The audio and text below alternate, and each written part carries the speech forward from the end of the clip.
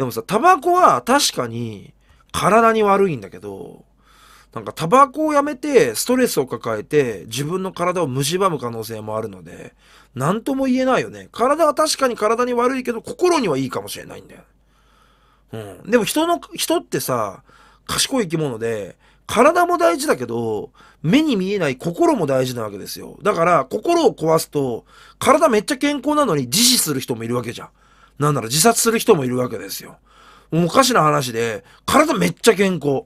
めっちゃ健康、めっちゃ若くて、あと60年は生きれるって体持ってるのに、死ぬ人いるんだよ。それなんで？あの、目に見えない心が壊れた人たちなんですよ。だから、タバコを吸うと、体に害はあるけど、心にはプラスっていう人がいるんですよね。だから、なぜかタバコ吸ってんのに長生きする人もいるし、タバコ吸ってないのに早く死ぬ人がいるんですよ。だから、あの、体も大事なんだけど、心も体とセットで大事なので、体を癒すのも大事だけど、心も癒さなきゃいけないし、体を満たすし、心も満たさないと、人って生きていけないから、偏るとえぐいよね。うん。めっちゃ体いいのにめっちゃ心ボロボロとか、そう、めっちゃ心い、あの、いや、あの、満たされてんのに体ボロボロも良くないので、やっぱ半々ぐらいに持っとかないと、人って生きられませんから、そう、だからタバコも、なんかさ、吸わない方がいいに決まってるんだけど、あのー、ねえ、めちゃくちゃ吸いたいのに我慢して、ストレス抱えて、むしろ心から体までもっとボロボロになったりする可能性もあるので、まあ、あの、その辺はね、何とも言えないなというところですけど、ただ、あの、タバコって依存だから依存症じゃん。あの、たっぷりお金は取ってほしいよね。うん、タバコもお酒もね。やる必要のないものだから、なんか、やってる人がごちゃごちゃ言うけど、あの依存を逆手にとって、たっぷり取ってほしいなと思うけどね。うん。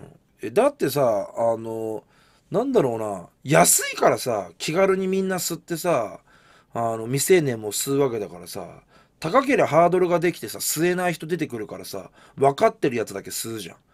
例えばさ、なんかさ、オフ会のイベントでもさ、入場料500円と入場料5000円、どっちが客の質高いよ。まあ5000円の方が客の質高いよね。安い方が人は集まるけど客の質は悪くなるよね。って考えると、タバコもお酒も高い方が質は上がると思うけどね。だから結局タバコが1箱500円するかしないかっていう低価格で売ってるもんだから、外でタバコの吸い殻を捨てるゴミくずまで吸うんだよ。タバコが1箱5000円だったら、外で吸い殻を捨てる人も減るよ。だって、そもそも吸ったら体に悪いものを安く売ってるのがおかしいんだよ。吸ってるやつが悪いんじゃなくて、売ってる方がおかしいんだよ。なんで体に害のあるものを低価格で売ってんだって話なんだよ。体に害のあるものだから、もっと高くして買えないようにしろよ。普通は。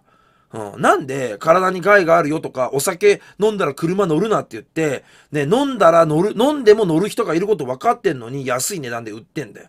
矛盾してるじゃんだってそもそも。うん。おかしな話なんだよ。ね例えば生活必需品がねえ安いのはわかるよ。生活に必要なものだからなるべく安くしてみんなに手に入れてもらおうっていうのはわかるけど、生活に必要ないものを安く売る必要はないでしょ。うん、高くていいじゃん。ね、買う人を選ぶものなんだから。で、それで、はぁとか言うやついるじゃん。もうこれがバカなのよ。で、こういうやつ湧くわけじゃん。値段上げるよって言ったら文句言うやついるわけじゃん。もうこの文句いるやつがいるのが、もうバカが吸ってるし、バカが飲んでるっていう証拠なの。証拠なの。別に買えなきゃ買わなきゃいいじゃん。別にそんなの。こんなの買えないお前が悪いじゃん。買いたき働いて金を稼いで買えよ。うん。いや、もうこの民度なんだよ。この民度になっちゃうんだよ。タバコを500円。酒を1本何百円で売ってると。うん。この民度なんだよ。そう。だからバカが吸ってバカが飲むのをやめない限り、飲酒運転も増えるし、外にタバコをポイ捨てする人も出るの。うん。だからこいつらに売っちゃダメなんだって。うん。例えばじゃあツイキャスの中で民度低い配信者がいたとしてさ、ちょっと悪いけどね、で、例に名前挙げるけど、深夜っちょが悪いとするじゃん。ね。例えば深夜っちょがタバコだとするよね。うん。で、あの、深夜っちょの配信が、こう深夜っちょが配信できると、ね、た、タバコがあると吸う人がいる、見る人がいる、深夜っちょを見る人がいっぱいいるわけじゃんか。じゃあ深夜っちょだけですか？民度低いのって。タバコだけが悪いと思う深夜町見てる奴らだって問題あると思いませんか？うん。でもそいつらが、はぁとか言うんだよね。ってことは深夜町を見る人たちの民度も上がれば深夜町だって変わるしかないんですよ。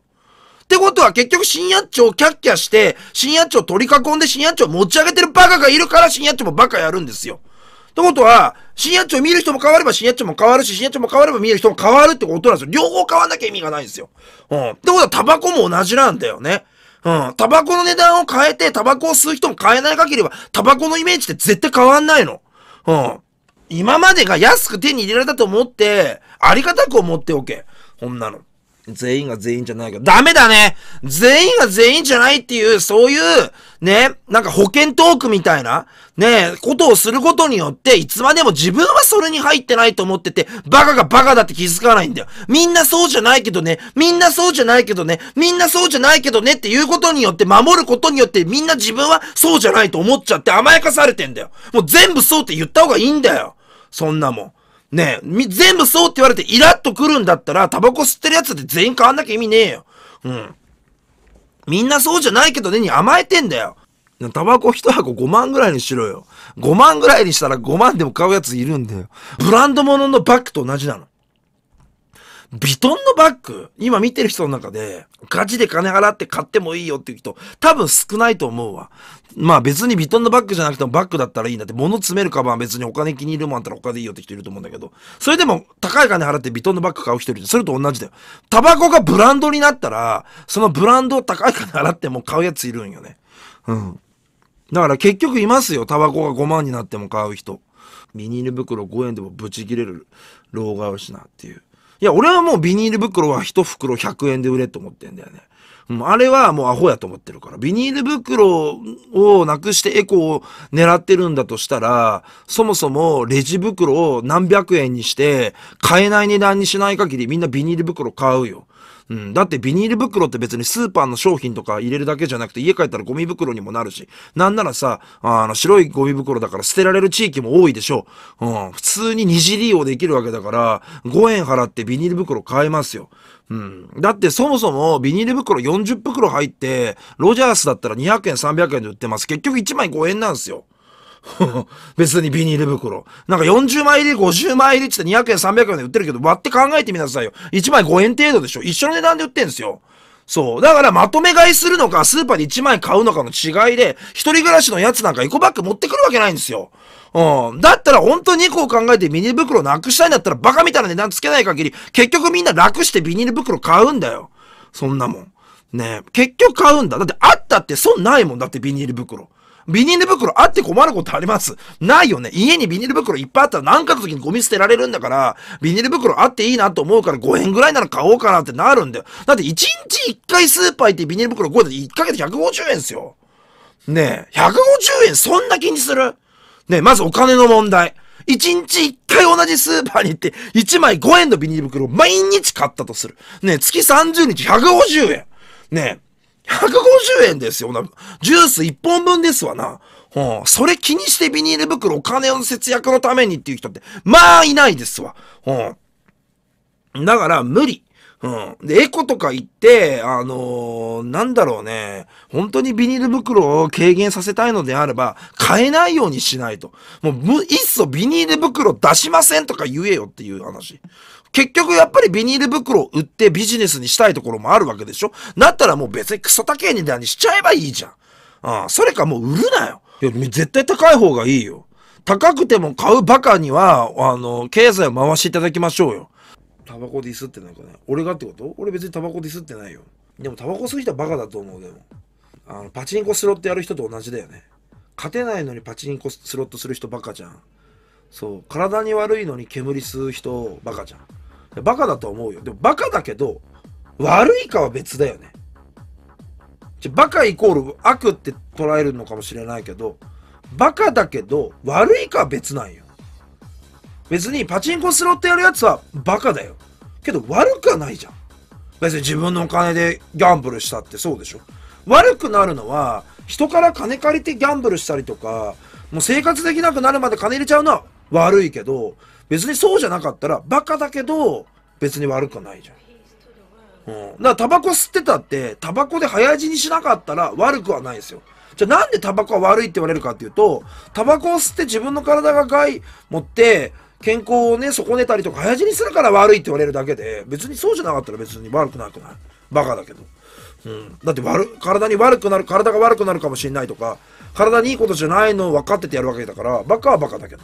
でも、バカだけど、たまには人はバカにならないとストレス発散できないんだよ。そんなの。いいことばっかりしてるのも疲れるし、いい人ぶるのも疲れるし、バカにならないと、ね、猪木だって言ったじゃん。バカだとか言うじゃん。そう。バカにならないと疲れるんだって。だからバカになることは悪いことじゃないんだって。なんでだからバカイコール悪じゃないよってことなのだからタバコも吸わしてやれよ。スロットパチンコもやらしてやれよ、別にそんなの。それがその人にとって解放される瞬間なんだから別にええやないかい。うん。と思うもん、俺はね。迷惑かからないなら。いや、だから、なんかね、あの、迷惑は生きてたら人にかけます。うん、なんか迷惑をかけないように害がないようにって疲れません？そんな毎日生きてて。なんでそん、だからさっきもの話にちょっと戻るけど、いい人になれないから人ってなろうと思っても、いい人か悪い人か生まれた瞬間育て、育てられ方、生き方でもう決まっちゃうの。いい人はいい人、悪い人は悪い人です。悪い人がいい人になろうと思ったってなれないです。うん。わかる？もう人間そういう風に形成されちゃったら。無理なものは無理うん。だったら素直に生きてた方が楽でしょうよ。ねえ。だってさ、例えばさ、大犯罪者がさ、おばあちゃんの荷物を持ったって、ね、いいことをしたって、結局人からやっぱ大犯罪者、過去大犯罪者だったわけじゃん。どんないいことをしたってさ、やっぱりさ、メッキだよ。うん。しゃあないよ、それは。だったら最初から悪いことしないようにするしかないんだよ。いい人は悪いことをそもそもしないから。そうでしょ？悪いことする人って悪い人じゃないですか。うん、その悪い人がいい人ぶったって結局やっぱメッキ、剥がれる。